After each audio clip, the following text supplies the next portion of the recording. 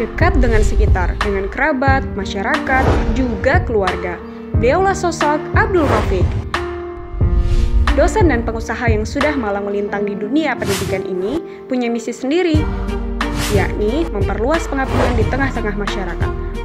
17 April 2019 nanti akan ada nama beliau di kertas suara caleg DPRD Kota Samarinda, Dapil Samarinda Utara dan Sungai Pinang, tepatnya di Partai PKS nomor urut 1. Ya, demi memperluas pengabdiannya, beliau mencalonkan diri sebagai calon legislatif di Samarinda. Jangan lupa Wal, 17 April 2019, Buhan Ikan pilih Pak Abdul Rafiq ya.